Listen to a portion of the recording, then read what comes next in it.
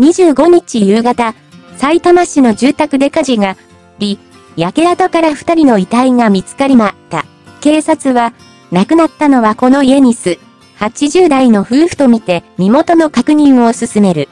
共に火事の原因を調べています。5日、午4時半頃、埼玉市見沼区、沼で、住宅から炎が出ていると近所に、無人ら消防に通報がありました。